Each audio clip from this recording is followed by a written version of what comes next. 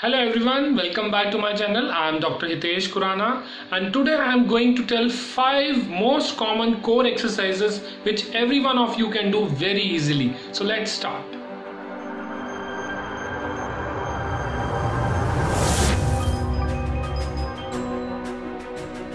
So guys, as a physiotherapist, when I practice in my clinic, I see lot of different kind of patients of various various problems. But सबसे ज़्यादा जो problem आती है वो है lower back pain. And patients come with different different reasons कुछ आते हैं जिनका बहुत पुराना पेन है, कुछ आते हैं पॉस्चर्स की वजह से जिनको पेन होता है. कुछ suddenly they have lifted something and they started you know getting pain in their lower back and बहुत से रीजंस की वजह से आते हैं. But so guys the most common question I ask with my lower back patient is that that whether they are doing a core strengthening program or not. So guys these are the exercises which are very important for each of every one of us and they are very easy to do. And most of the time I recommend all these exercises to all of my patients.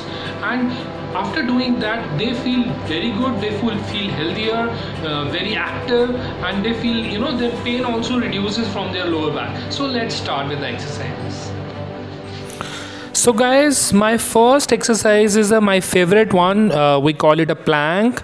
And you know in this one plank exercise we activate lot of layers of muscles in one exercise.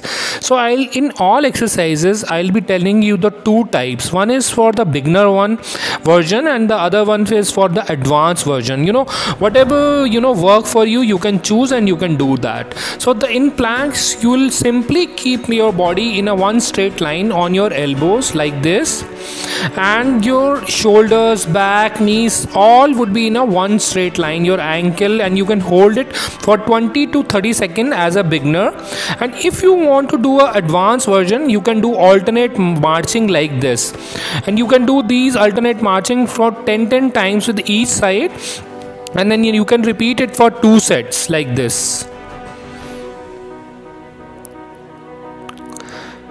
so the my second exercise which i am going to tell you is we call it as a bridging exercise in this bridging exercise you have to lie, lie down on your back and you have to bend your knees like this and then you have to just raise your pelvis lift your pelvis towards the roof and you can hold it for 3 seconds you know in इस exercise में basically आपकी जो lower back की muscles हैं यानी कि spine के muscles हैं वो एक्टिवेट होंगे जैसे कि इरेक्टर स्पाइने मसल है क्वाड्रेटस लंबोरम है लंबर्स के स्टेबलाइजर्स हैं and also when you hold this you have to you know अपने ग्लूट्स को, यानी कि बर्ड्स को थोड़ा कॉन्ट्रैक्ट करना है जब भी आप ये करें। For this is for the you know very simple you can do as a beginner अगर आप एडवांस वर्जन करना चाहते हैं इसी का then what you can do you can एक लेग को आप सीधा कर लीजिए like this and you have to raise your pelvis lift your pelvis and raise your leg एक साइमल्टेनियसली दोनों को एक साथ करना है। अगेन आप इसको भी तीन सेकेंड के होल्ड के साथ कर सकते हो। ऑल्टरनेट मतलब दोनों साइड में करना है टेन टेन टाइम्स का and then you can repeat it for two sets this is again a very simple exercise. You can do it very easily. You know it's really activate the lot of core muscles together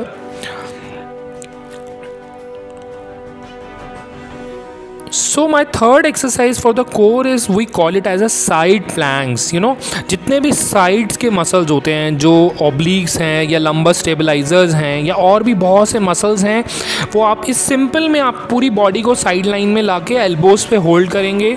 आपका nose your tummy between the बिल्कुल आपके knees के होना चाहिए एक one single straight line में। Again वही beginner में ट्वेंटी टू थर्टी सेकेंड का होल्ड कर सकते हैं और टेन सेट करना है इसका भी। देन अगर आप इसका एडवांस वर्जन करना चाहते हैं तो आप इसमें डायनामिक मूवमेंट ऐड कर सकते हैं। आप अपने हिप्स को up and down like this you know अभी हम करेंगे इसको।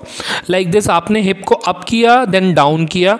You can add this from both the side दोनों साइड से करना है आपको। लेफ़्ट साइड से भी राइट right साइड से आप टेन टेन करके यू कैन डू ट्वेंटी आप रेप्स कर सकते हैं दोनों साइड से। Twenty left side and twenty right side से। देन माई फोर्थ एक्सरसाइजेज हम इसको बोलते हैं dog and bird exercise this a very simple exercise इसमें बेसिकली आपका जो एब्डोमिनल ग्रुप है, वो एक्टिवेट होता है. बहुत बढ़िया तरीके से एक्टिवेट होता है. आपको अपने दोनों लेग्स और दोनों हैंड्स पे आ जाना है. देन इसमें ऑल्टरनेट हैंड और ऑल्टरनेट लेग को सीधा करना है। यानी कि लेफ़्ट लेग सीधा किया एंड देन राइट लेग को सीधा किया एंड होल्ड करना है। थ्री सेकेंड के लिए होल्ड करना है। देन राइट हैंड को होल्ड स्ट्रेट किया एंड लेफ़्ट लेग को स्ट्रेट किया। It is a very good core exercise you know अगर आपकी स्पाइन में पेन रहता है या आप एक्सपीरियंस करते हैं ऐसा हल्का सा भी पेन तो अगर आप ये सब एक्सरसाइज करेंगे तो you know it gonna be a very good for you so अगर आप इसी का एडवांस वर्जन करना चाहते हैं। सो so, ये बिगनर्स के लिए था अगर आप इसका एडवांस वर्जन करना चाहते हैं आप क्या करें?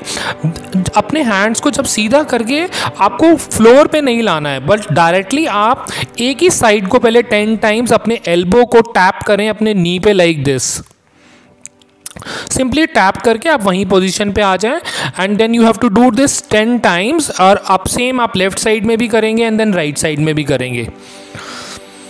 Then my fifth exercise is again very simple बहुत से पेशेंट आते हैं मेरे पास जिनके साइड मसल यानी कि जो हिप अबडक्टर्स जिनको हम बोलते हैं। बहुत से पेशेंट्स जो लोअर बैक के आते हैं, उनका ये वाला पोर्शन जो है बहुत वीक रहता है। तो बेसिकली इस सिंपल साइड लाइन में लेट के आपको पैर को सीधा उठाना है, जितना ईजिली आप उठा सकें। टेन रेपिटेशंस करने हैं, तीन सेट करने हैं। अगर एडवांस वर्जन करना चाहें तो आप अपने पेल्विस को ऐसे लिफ्ट कर लें and do the same exercise it gonna be a very good it is very intense and very effective exercise so so guys अगर आप ये पाँच एक्सरसाइज डेली करते हैं तो आई अश्योर कि आपका कोर बहुत एक्टिव रहेगा and you will be into a very good shape and they are very easy exercises you can do it on every day basis also अगर आपको मेरा ये वीडियो अच्छा लगा and you find it informative and you find these exercises are really effective so please give a thumbs up and if you have any question please write in it to a comment box guys it's a great chance for you to subscribe my channel because I will be coming with lot of new videos in which in which I will be giving you a physical therapy tips workout tips and many other tips so guys bye bye for today